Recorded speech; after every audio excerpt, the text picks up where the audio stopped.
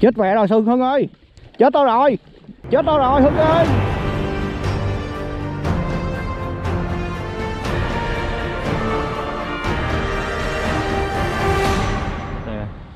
Rồi, chào tất cả các anh em. Hôm nay mình trở lại đi câu cá lóc.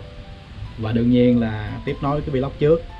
Thì mình sẽ tiếp tục câu bằng cái cần Ryan Iceberg Ultralight đặc biệt là cây BFS này thì có lần trước là mình đã câu ở hồ ngư ông test nó về cá chẽm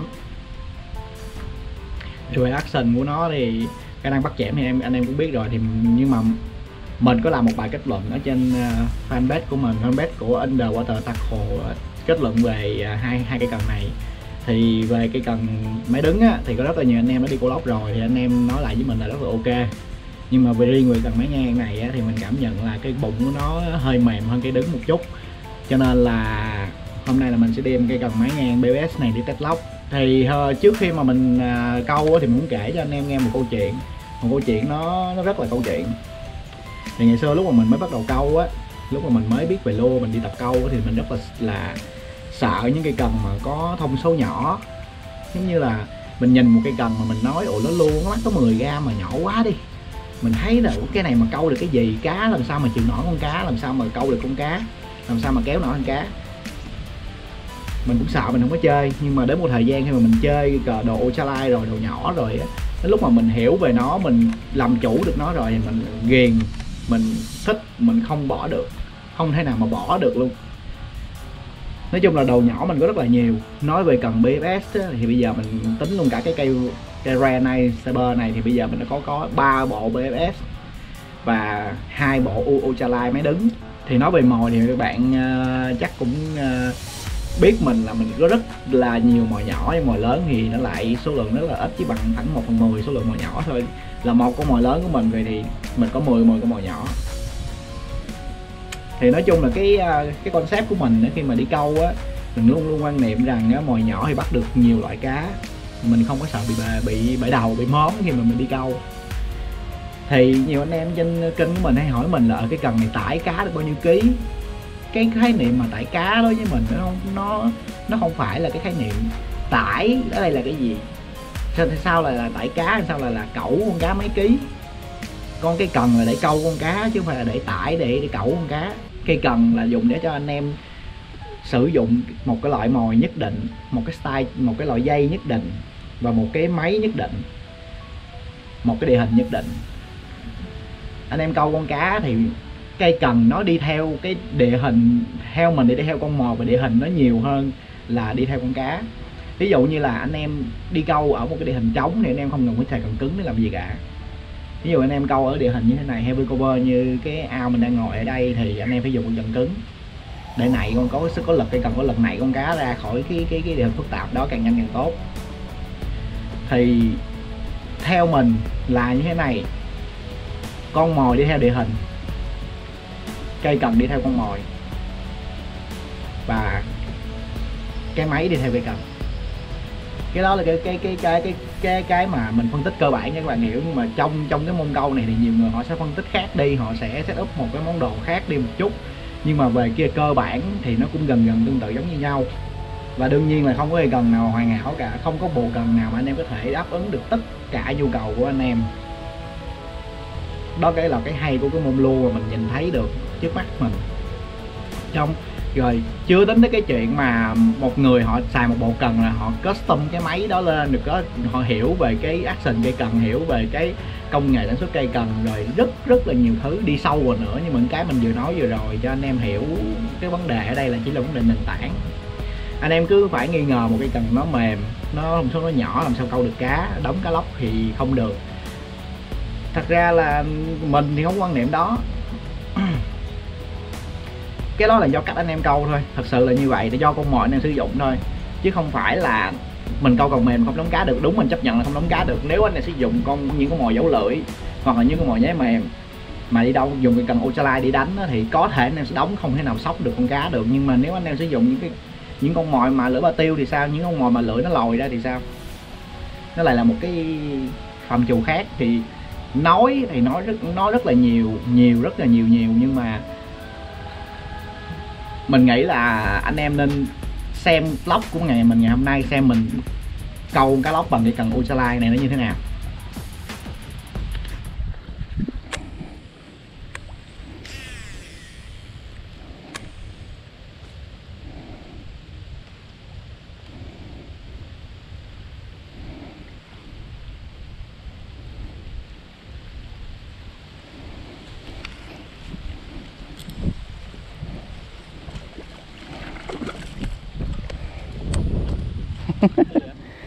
ừ.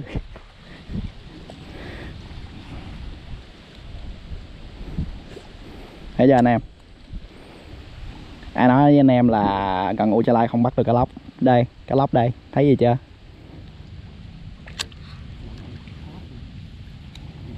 Mày có con nào lưỡi dài đổi đi. Có đem theo không? Lấy con uh, đeo ba bên con quýnh kìa. Ừ. mày đem nay đem gì nhái với mà mềm không hả? Lấy mà mềm nó quýnh thử coi. Ở đây nó cũng không sâu lắm đâu 5 gram quăng xuống cái đụng đáy.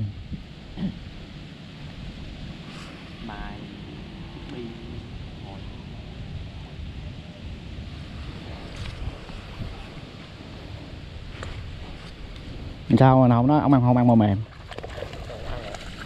Mắt mới vẫn ăn mà mềm không có lý do vẫn ăn mà mềm nuốt luôn nè. Nuốt rồi tới họng mới luôn không ăn mà mềm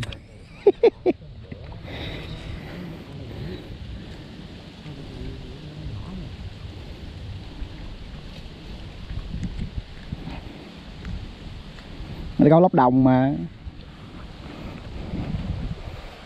Rồi chào anh em sau khi mình à, mình thử à, câu bằng à, cần ultralight ở cái địa hình trống rồi bắt được hai con cá lóc thì mình thử action nó như thế nào thì rất là ok. Thì bây giờ mình sẽ tiếp tục qua cái địa hình ao sen.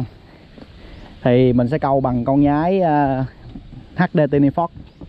Thì địa hình ao sen này anh em biết rồi thì mình có đã từng vào đây và câu với cần XH Extra Heavy của Rare Rare Lake thì bây giờ mình sẽ thử câu bằng gần Ultralight Night Saver xem coi như thế nào thì có thể là mình chỉ làm mẫu một lần thôi nha mình chỉ làm mẫu một lần thôi nha mình nhắc lại là mình chỉ làm mẫu một lần thôi nha anh em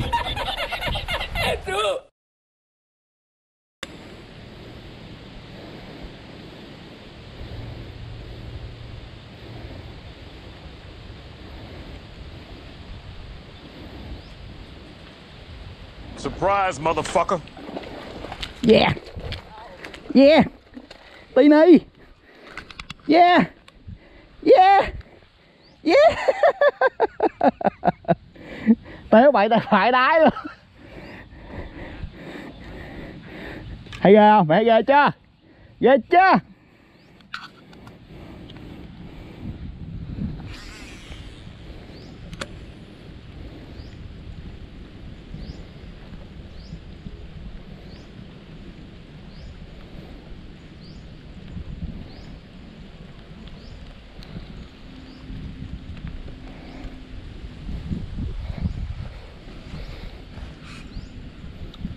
Quýnh đi hơn đâu có cản đường của mày đâu. Đâu quýnh đi, đâu có cản đường gì của mày đâu.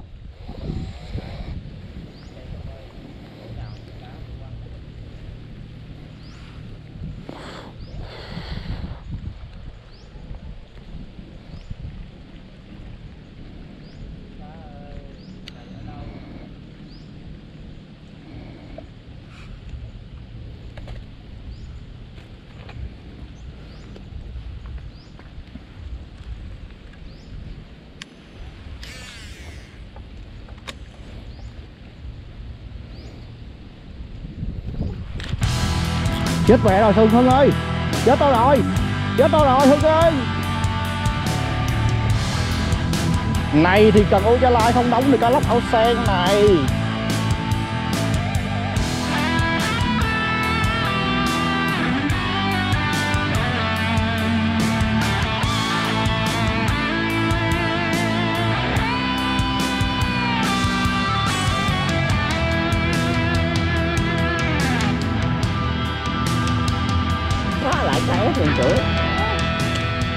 Mình là chỉ có ké thôi chứ mình gầm những cái ép bạn đồ mình đụng đồ, đồ, đồ, đồ, đồ mía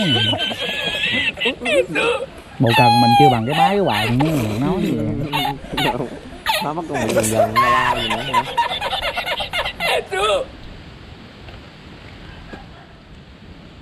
Với mấy con cá nó nhét á nó chịu ăn con này hơn. Má trong cái đường luồn nãy tao chỉ mày hơn. Ừ.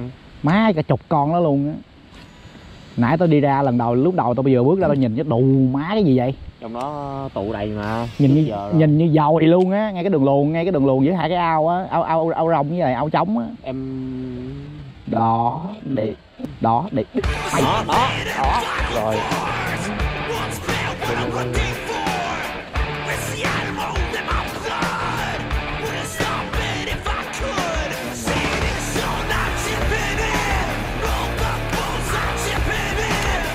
rồi rồi để anh tự bắt. Yeah. Ô.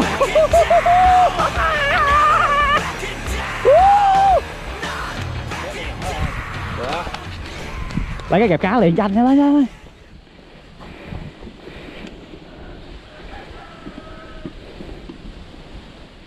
ê má con cá này bị mù mày ơi. Ừ. thấy không? Nó đầu nó mất hình con mắt rồi ờ nó mất mất rồi. Vậy là con này cá bể. Cái bể rồi. À, xin kính thưa anh em là con cá lóc của mình câu được là nó bị mù hết con mắt nha. Vậy là có thể là Glutini Fox là trị được cái lóc bể luôn. Lóc bể nhắc mồi. Maybe maybe. Ai biết được? Mình xin kết thúc lóc tại đây. Thì sáng giờ mình câu à, bằng à, cần à, Ultralight BFF Night và máy Alpha E T-Wing Thì anh em cũng thấy rồi đó vẫn bắt được cá lóc. Vẫn đóng được cá lóc và bắt trong địa hình là ở thằng ao sen luôn. Nhưng mà cái này thì mình nói thật ra thì cái bộ cần này nếu mà anh em ờ, câu bằng bộ cần này anh em phải nhanh một chút. Phải thật phải, phải, phải phản xạ anh em phải rất là nhanh.